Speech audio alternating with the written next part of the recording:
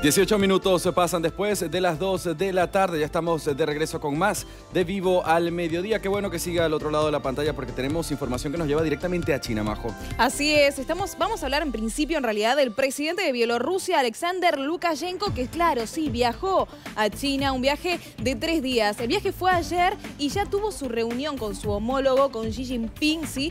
donde el presidente de Bielorrusia demostró ¿no? apoyo en la iniciativa que tiene el presidente chino sobre la seguridad global propuesta ¿sí? por él que se opone al uso de sanciones en el escenario internacional.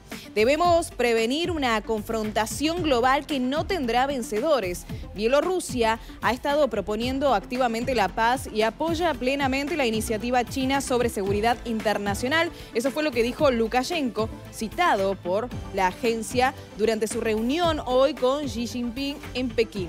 Lukashenko también alabó la iniciativa para el desarrollo global lanzado por Pekín y, afirmó también que expandir los contactos con China es una prioridad para la política exterior de Bielorrusia cada vez más aislado de Europa y el resto de Occidente por su deriva autoritaria y sus políticas también hacia los migrantes, el gobierno de Lukashenko se ha girado en los últimos tiempos hacia aliados como Pekín y Moscú.